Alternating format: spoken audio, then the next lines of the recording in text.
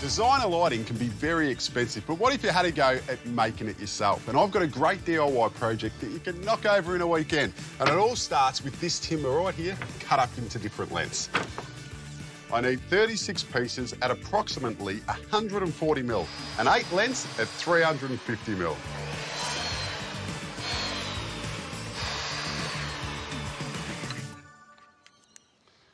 Might think I'm going crazy taping all these bits of timber together, but I'm doing it for a reason. There's not going to be any fixings in this light. They're only going to be glued together, so we need to make sure that every bit of timber is exactly the same length. To do that, I've just overcut all these pieces. Now I'm masking them up, and then we just take one measurement and cut through the lot. All right, now we've got everything cut and still in their bundles. You just want to give it a quick sand around the edges. Now it's time to glue it all up. You just want to make sure that you put some plastic down because obviously we don't want our timber to get stuck down to our workbench. And while it's still in the bundle, we're actually going to glue both sides up.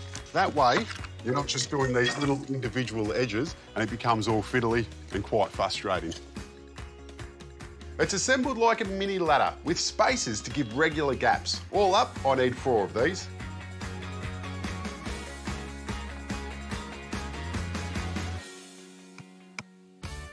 While that's drying, I'm just going to cut up this aluminium angle. I'm going to use this to stick the four sides together. And to cut it, I'll just be using a hacksaw. To glue it, I'm just using a quick dry adhesive.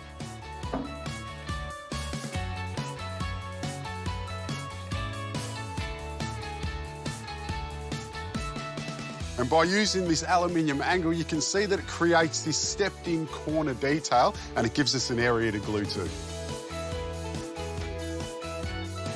Look at that, our lamp is starting to take shape, but it's not much of a lamp without a light. So for that, I've just got this MDF. I'll drill a hole in it, which will allow me to put the cord through.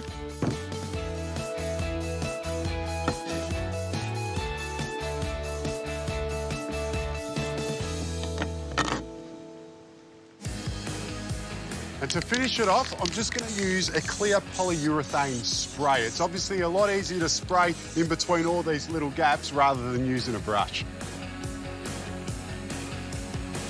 How about that? I think it looks pretty good. I wouldn't mind waking up next to this every day. And once you've got the design down pat, you can make it whatever size you like. You know, I just need to go plug it in.